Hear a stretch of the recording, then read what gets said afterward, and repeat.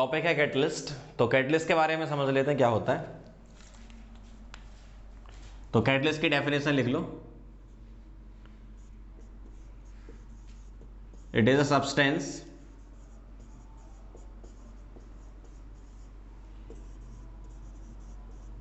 which can change.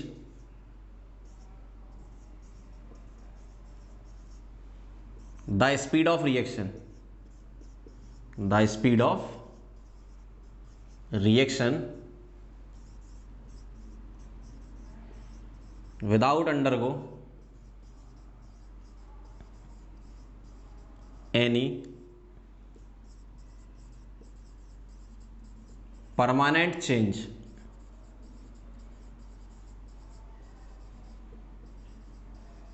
in mass and composition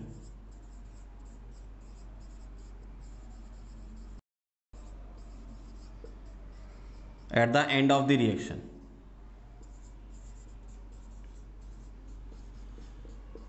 तो ये इसकी डेफिनेशन है कैटलिस्ट की। कैटलिस्ट क्या होता है? ये रिएक्शन की स्पीड को चेंज कर देता है। अब ये स्पीड को बढ़ा भी सकता है और कम भी कर सकता है। दोनों काम कर सकता है ना? जो स्पीड को बढ़ाते हैं उनको पॉजिटिव कैटलिस्ट और जो स्पीड को कम करते हैं उनको नेगेटिव कैटलिस्ट बोलते हैं। और कैटलिस्ट जब रिएक्शन खत्म हो जाती है तो उसका मास और कंपोजिशन वही रहता है, ठीक है?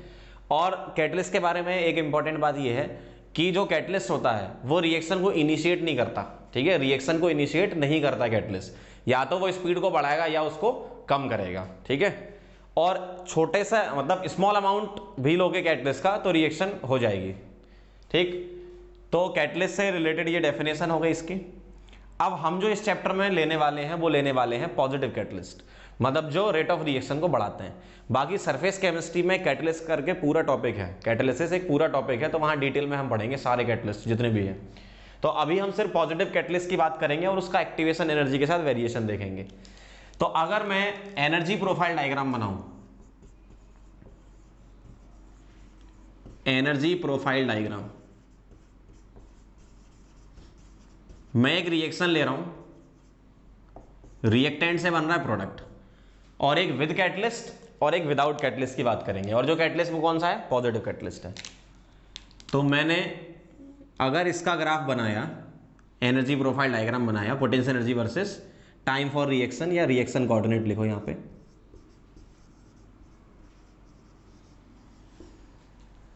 तो रिएक्शन जो रिएक्शन हो रही है वो आरसीपी बन रहा है तो रिएक्टेंट की अपनी कुछ एनर्जी होगी जिसको मैं बोलूँगा पोटेंशियल एनर्जी ऑफ़ रिएक्टेंट और मैं रिएक्शन एक्सोथर्मिक ले लेता हूँ ठीक है? तो यहाँ पर ईपी कहाँ आएगा? नीचे आएगा।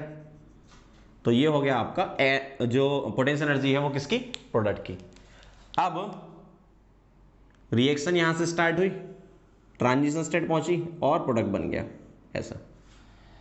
तो ये वाला जो मैंने ग्राफ बनाया है ठीक है, इस ग्राफ को मैं बोल देता हूँ। ये आपका विदाउट कैटलिस्ट वाला ग्राफ है, ठीक है, ये इसका ट्रांजिशन स्टेट है। अब अगर मैं यही ग्राफ बनाऊँ विद कैटलिस्ट तो कैटलिस्ट क्या करता है पॉजिटिव कैटलिस्ट क्या करता है रेट ऑफ़ रिएक्शन को बढ़ाता है। कैसे बढ़ाता है? वो एक अल्टरनेट पाथ प्रोवाइड कर देता है कम एक्टिवेशन एनर्जी का। देखो कैटलिस्ट ने इनकी एनर्जी चेंज नहीं करी।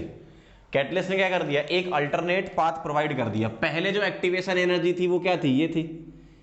तो मैं ये बोल रहा हूँ, इस एक्टिवेशन एनर्जी का नाम है ई ए अनकैट अनकैट का मतलब अनकैटलाइज और जो ये वाली एक्टिवेशन एनर्जी है, यहाँ से लेकर यहाँ तक, इसको बोल रहा हूँ मैं ई ए कैट इसका मतलब कैटलाइज तो एक ही रिएक्शन हो रही है।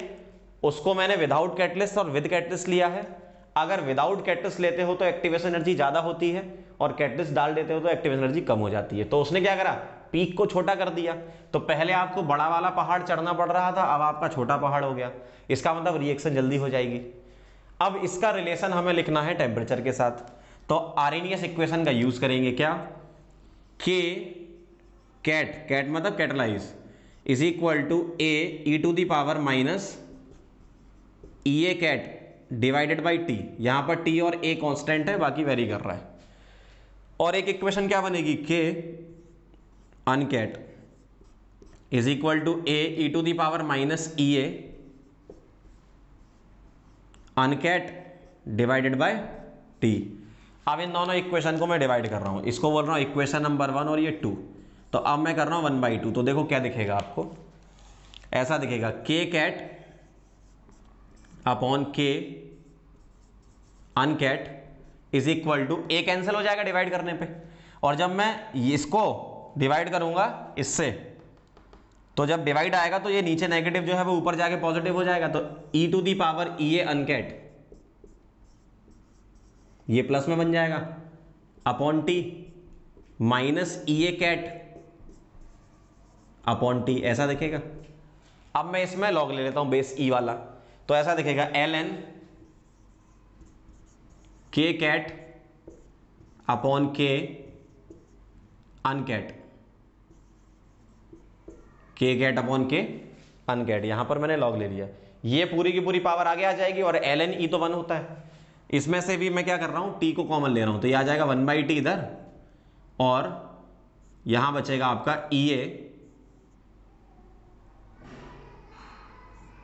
अनकैट माइनस ई ए कैट ये आपका फॉर्मूला बन जाएगा, देखो। तो मैंने टी को बाहर कर लिया ई A uncat minus A cat ये आपकी इक्वेशन बनेगी। अब इसी इक्वेशन का हम यूज़ करके इसके न्यूमेरिकल को सॉल्व करेंगे। तो ये वाली इक्वेशन आप ज़रूर याद करें। तो ये कैटलिस्ट का वेरिएशन हो गया रेट कांस्टेंट पर। नोट कर लो।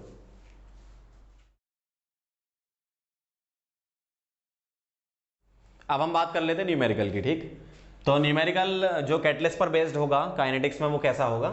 इस टाइप से कि न्यूमेरिकल लिखा है, आप रीड कर सकते हो। रेशियो निकालना आपको कैटलाइज और अनकैटलाइज रेट कांस्टेंट का, जो अभी पीछे रिलेशन बनाया हमने। आपको एनर्जी एक्टिवेशन वाली दे रखी कैटलाइज के लिए 100 और अनकैटलाइज के लिए 200 हंड्रेड के जे आप क्या करोगे आप? फॉर्मूला देखो, पीछे जो बनाया था L N K cat upon K uncat is equal to E A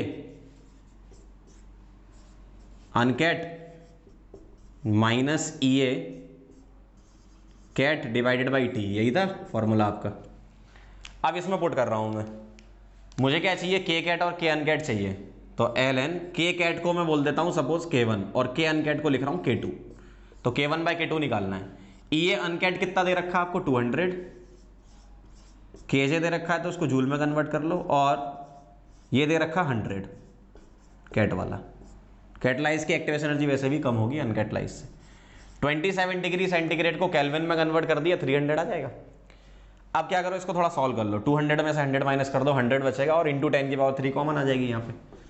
तो L N K one by K two is equal to hundred और टेन की power three divided by three hundred. Cancel कर दो ये दो zero तो ये three बचेगा यहाँ पे, है ना? अब मैं क्या कर रहा हूँ? एंटी लॉग ले रहा हूँ। तो के वन बाय के टू क्या आ गया? E to the power thousand by three ये आपका आंसर आ गया। ठीक तो इस तरीके से अप्रोच करना आपको कैटलिस्ट से रिलेटेड न्यूमेरिकल नोट कर लो।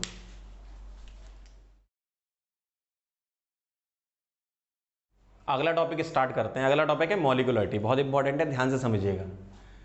मॉलिकुलरिटी क्या होती है? पहले बेसिक डेफिनेशन लिखो। the number of reacting molecules. The number of reacting molecules which must collide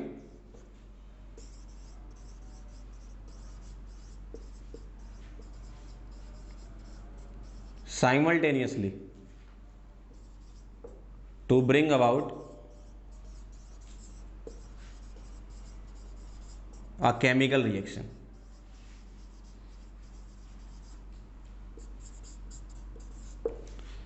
मतलब एक केमिकल रिएक्शन चल रही है तो उसमें रिएक्टिंग मॉलिक्यूल कितने एक साथ कोलाइड हो रहे हैं, उसको मॉलिकुलरिटी बोलते हैं।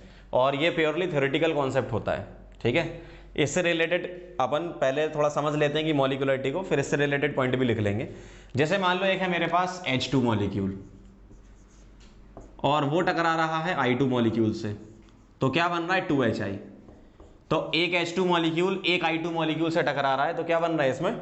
टू एच आई ठीक है? और ये रिएक्शन जो है, इसके बारे में बोल रहा हूँ कि ये रिएक्शन है एलिमेंट्री रिएक्शन या वन स्टेप रिएक्शन ठीक है? एलिमेंट्री रिएक्शन आपको गिवन है या वन स्टेप रिएक्शन आपको गिवन है, और उसमें आपसे बोला गया है कि मॉलिकुलरिटी के बारे में बताओ। तो मॉलिकुलरिटी क्या आएगा? इसका एक मॉलिक्यूल इसके एक मॉलिक्यूल से टकरा रहा है मतलब मॉलिकुलरिटी इसकी क्या हो गई? टू तो आप सीधे थ्योरेटिकली बता सकते हो कि मोलिकुलरिटी कितनी होगी। अब इससे रिलेटेड कुछ इंपॉर्टेंट पॉइंट के बारे में बात कर लेते हैं। तो इंपॉर्टेंट पॉइंट्स लिख लो क्या क्या है। पहला molecularity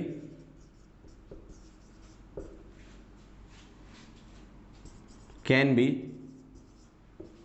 one two and three second point molecularity greater than three is rarely observed ऐसा इसलिए क्योंकि बहुत सारे मॉलिक्यूल एक साथ टकराएँ। मतलब जैसे तीन से ज़्यादा मॉलिक्यूल एक साथ टकराएँ, उसकी प्रोबेबिलिटी कम है। उससे पहले ही दो मॉलिक्यूल टकरा चुके होंगे या तीन मॉलिक्यूल टकरा चुके होंगे। तीन से ज़्यादा बहुत ही रेयरली मिलेगा आपको, क्योंकि उसके पहले ही टक्कर हो चुकी होगी। तीसरा point molecularity can never be zero and negative ठीक है थ्योरेटिकल कॉन्सेप्ट है और मॉलिक्यूल टकराने चाहिए। मॉलिक्यूल नेगेटिव में कैसे हो सकते हैं? या कोई भी मॉलिक्यूल ना टकराए, ऐसा कैसे हो सकता है? ठीक है? Fourth point for elementary reaction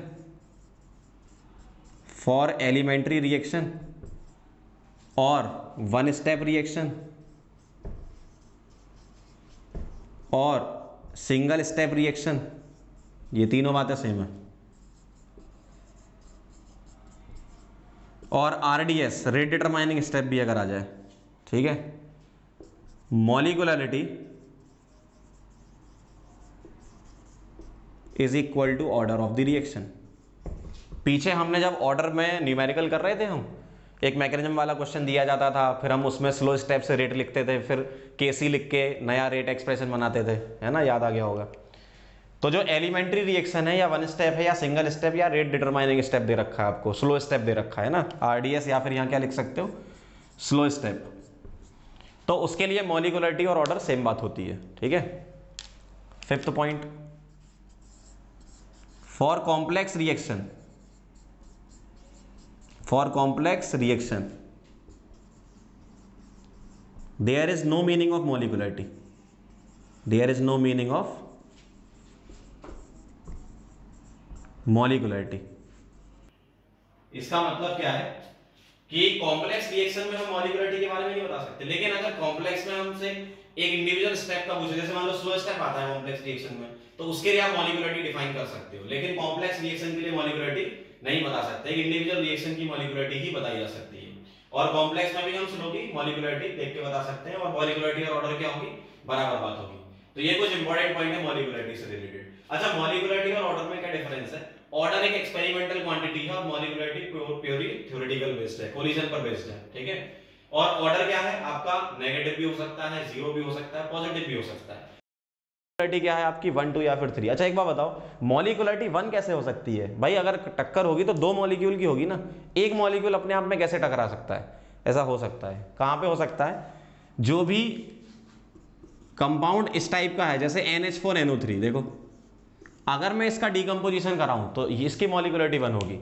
देखो NH4NO3 जो है, अगर मैं इसको हीट कराता हूँ तो ये बनाता है N2 plus two H to दो यहाँ पर, तीन ये तो यहाँ पे N2O कर दो, है ना? एन N2O प्लस टू तो आप देखो NH4NO3 तो एक ही मॉलिक्यूल है ना?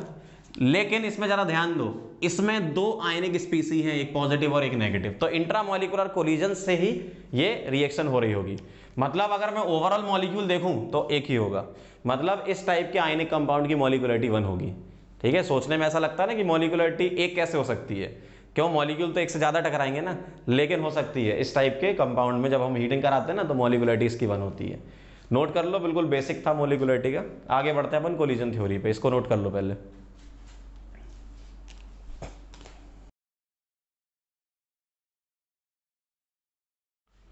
लास्ट टॉपिक है अपना कोलिजन थ्योरी ये जेई मेन और नीट तक का हो जाएगा। इसके बाद हम लोग एक और लेक्चर में बनाऊँगा, जिसमें मैं series reaction parallel reaction equilibrium reaction वगैरह लूँगा। ठीक है? वो जो अलग से एडवांस वाला पार्ट है। यहाँ तक का आपका केमिकल काइनेटिक्स जेई मेन और नीट तक का खत्म हो गया। ठीक है? तो लास्ट थ्योरी कोलिजन थ्योरी समझ लो बेसिक थ्योरी है। तो कोलिजन थ्योरी क्या होती? है कोलिजन थ्योरी एक्चुअली बेस्ड है मॉलिक्यूल के कोलिजन पर। ठीक है? वो किस तरीके से टकरा रहे हैं, कितनी स्पीड से टकरा रहे हैं। और जब टक्कर होगी, तभी प्रोडक्ट बनेंगे। लेकिन सारी टक्कर से प्रोडक्ट नहीं बनेंगे। इफ़ेक्टिव कोलिजन होना चाहिए। ये सब चीज़ें हम बात करेंगे इसमें, है ना? जैसे एक रिएक्शन है ए प्लस बी से क्या बनना प्रोडक्ट तो जो रेट ऑफ़ द रिएक्शन है, वो किस किस बात पे डिपेंड करती है, वो तीन फैक्टर होते हैं। एक है पी एक है जेड ए बी और एक है e to the power minus E A by R T ये तीन चीज़ें हैं जिस पर जो रेट है, किसी भी रिएक्शन की, वो डिपेंड करती है। जो पी है, इसको बोलते हैं probability factor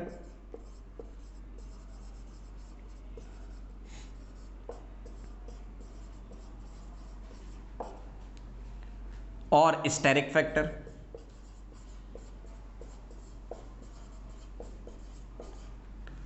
Z A B जो है जेड ए बी इसको बोलते हैं कोलिजन फ्रीक्वेंसी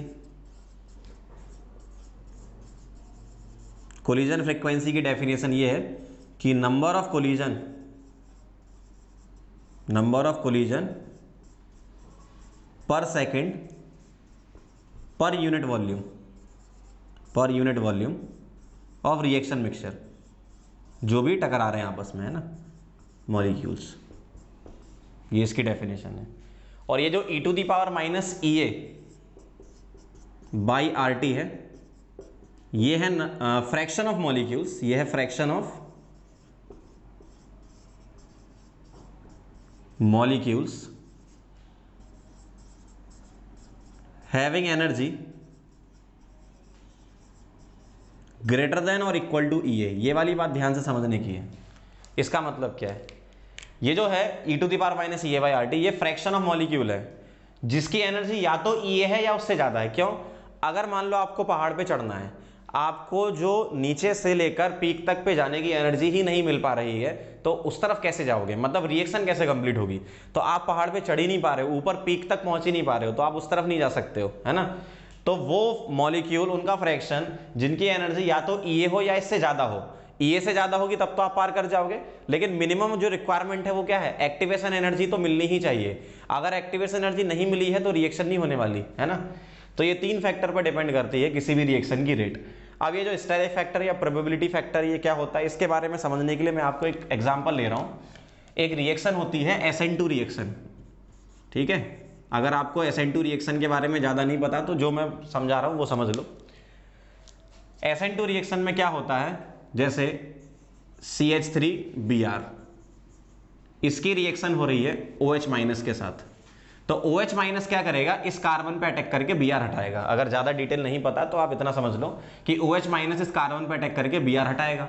अब ओ OH माइनस अगर मान लो फ्रंट से आया तो अगर मैं यहाँ पोलरिटी की बात करूँ तो प्लस माइनस डेल्टा प्लस और डेल्टा माइनस होगी कार्बन और ब्रोमीन के बीच में। तो ये नेगेटिव और ये भी नेगेटिव इसका मतलब होगा रिपल्सन और रिपल्सन होगा, इसका मतलब इस तरफ़ से ओ OH माइनस अप्रोच नहीं करेगा। इसको मैं बोलूँगा इम प्रॉपर कोलिजन मतलब टकराएँगे तो लेकिन रिएक्शन नहीं होगी। इम प्रॉपर कोलिजन मतलब इससे प्रोडक्ट नहीं बनने वाला। तो अब ओ OH माइनस क्या करता है? O OH minus back side से अटैक करता है। ओ OH माइनस इसके बैक साइड से ऐसे जाएगा कि ओ OH माइनस इस पर अटैक करेगा और ये बी आर निकल जाएगा। इसको मैं बोलूँगा प्रॉपर कोलिजन और प्रॉपर कोलिजन से ही प्रोडक्ट बनता है। इम्प्रॉपर से प्रोडक्ट नहीं बनता। जैसे मान लो दो कार की टक्कर हो रही है, ठीक है? अगर मान लो दो कार की टक्कर हो रही है और कार के एयर बैग खुलने हैं तो एक प्रॉपर स्पीड में टक्कर होनी चाहिए, तभी एयरबैग खुलेंगे, ठीक है? अगर मान लो धीमे से ही टकराए तो एयरबैग तो खुले ही नहीं।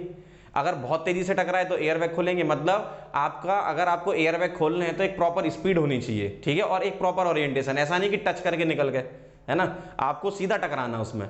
तो अगर मैं इसकी टक्कर इससे सीधे कराऊं, ऐसा नहीं कि ओ OH माइनस का मॉलिक्यूल कार्बन को छूते हुए निकल जाए, ऐसे। तो ऐसा नहीं होगा। ओ OH माइनस का टक्कर सीधी होनी चाहिए। मतलब एक प्रॉपर ओरिएंटेशन होना चाहिए इसका, ठीक है? तो अब ये वाला होता है प्रॉपर कोलिजन और ये वाला होता है इम्प्रॉपर कोलिजन तो प्रॉपर कोलिजन से प्रोडक्ट बनेगा और अगर प्रोडक्ट लिखना चाहो तो प्रोडक्ट ये बनेगा. C S three plus B R minus निकल जाएगा. ऐसा. तो जो प्रॉपर कोलिजन है मतलब प्रोबेबिलिटी ऑफ़ इस टाइप की कोलिजन वो बताता है आपका स्टैटिक फैक्टर या प्रोबेबिलिटी फैक्टर पी अब नंबर ऑफ़ कोलिजन कितने ज़्यादा हो रहे हैं? भाई नंबर ऑफ़ कोलिजन भी तो चाहिए आपको। जितने ज़्यादा कोलिजन उतना बढ़िया प्रोडक्ट बनना है है ना? तो ओ एच माइनस इस कार्बन पर अटैक करेगा। मतलब नंबर ऑफ़ कोलिजन अगर ज़्यादा होंगे तो इफ़ेक्टिव कोलिजन होने के चांसेस भी उसमें ज़्यादा है फिर। वो कौन बताता है? कोलिजन फ्रिक्वेंसी जितनी ज़्यादा होगी, उतनी ज़्यादा रेट होगी। ठीक? अब ये वाला फैक्टर है, ये थोड़ी देर पहले ही समझा चुका हूँ मैं। E to the power minus E by T fraction of molecule है। मतलब जितना ज़्यादा फ्रैक्शन होगा मॉलिक्यूल का, जिनकी एनर्जी ई है, उससे ज़्यादा है। तो वही रेट में पार्ट लेंगे, वही तो प्रोडक्ट बनाएँगे। अगर ई से कम एनर्जी होगी तो प्रोडक्ट बनाएँगे नहीं, है ना? तो बेसिकली ये तीन फैक्टर होते हैं जो किसी भी पर्टिकुलर केमिकल रिएक्शन को डिटरमाइन करते हैं। ठीक है? तो ये बेसिक है, बिल्कुल कोलिजन थ्योरी का। नोट कर लो इसको।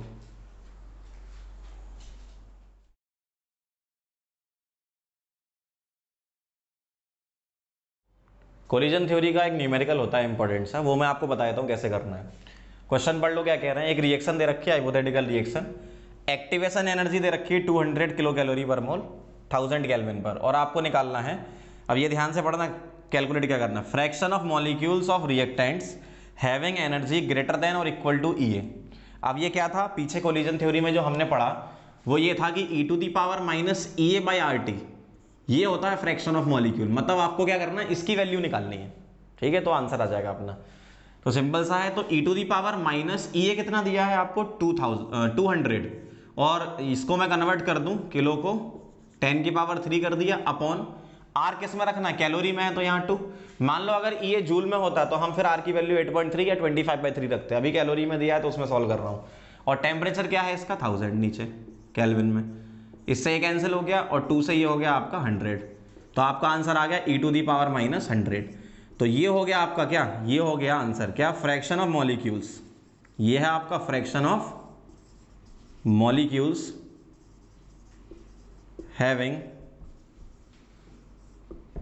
energy